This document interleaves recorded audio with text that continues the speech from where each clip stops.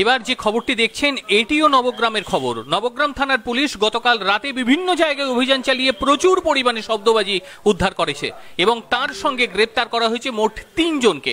পুরো বিষয় নিয়ে কথা বলব। এই মুহূর্তে ফোনে রয়েছে আমাদের প্রতিনিধি অভিজিৎ মন্ডল অভিজিৎ, বিস্তারিত জানাও। হ্যাঁ নবগ্রাম থানার যে কালী পুজো নিয়ে একটা খুব কড়াকড়ি চালাচ্ছে। কারণ কালী পুজোতে শব্দবাজিটাই খুব বেশি পরিমাণে ফাটানো হয়। সে কারণে বিভিন্ন জায়গায় তারা কালকে বিকেল থেকে অভিযান চালায় বিভিন্ন জায়গায় যারা যেখানে যেখানে শব্দবাজির এইসব ব্যবসাগুলো চলে বেশি পরিমাণে। সেখানে গিয়ে দেখা যায় আহ, তিনজন আহ, গৌরাঙ্গ মন্ডল বদরুল হক আব্দুল হক এরা শব্দবাজি প্রচুর পরিমাণে মজুত রেখেছে। সেই কারণে ওদেরকে গ্রেপ্তার করে নিয়ে এসে থানায় নিয়ে এসছে। আজকে তাদেরকে কোর্টে নিয়ে যাওয়া হবে। শান্তনুদা আচ্ছা এই রকম অভিযান কি কন্টিনিউ চলবে? কি জানাচ্ছে পুলিশ? কারণ আমরা দেখতে পাচ্ছি জেলার বিভিন্ন জায়গা থেকে একই ছবি। এর আগে গতকাল রাতে খড়গ্রাম থানার পুলিশ তারাও প্রচুর পরিমাণে সেখানে উদ্ধার করেছে। বেলডাঙ্গা থেকে শুরু করে লালগোলা প্রত্যেকটি জায়গায় ছবিটা এক। কি বক্তব্য পুলিশের? যে এমনটা কেমন হচ্ছে? যেহেতু আদালতের একটা নির্দেশ রয়েছে সুপ্রিম কোর্টের একটা নির্দেশ রয়েছে তা সত্ত্বেও কিন্তু একই রকম পরিস্থিতি। মানুষ শুধরাচ্ছে না কেন?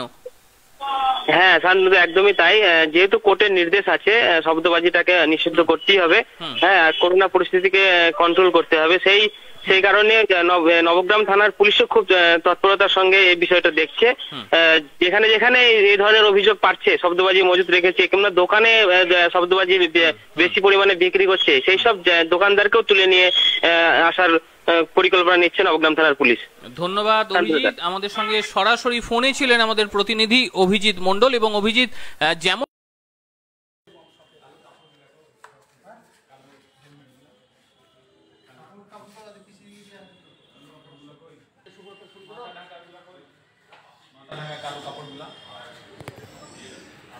আহ,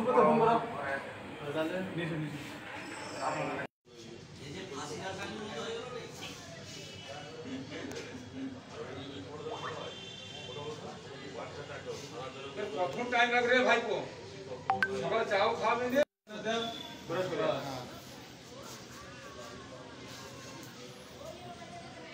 ইতিমধ্যেই কিন্তু পুলিশ তিনজনকে গ্রেপ্তার করেছে। আরও একবার আপনাদের জানিয়ে রাখি, নবগ্রামে প্রচুর পরিমাণে নিষিদ্ধ বাজি উদ্ধার করা হয়েছে।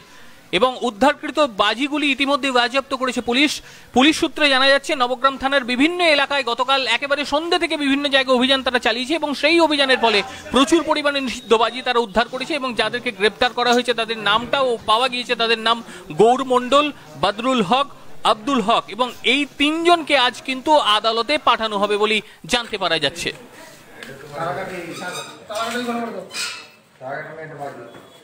কাটো না।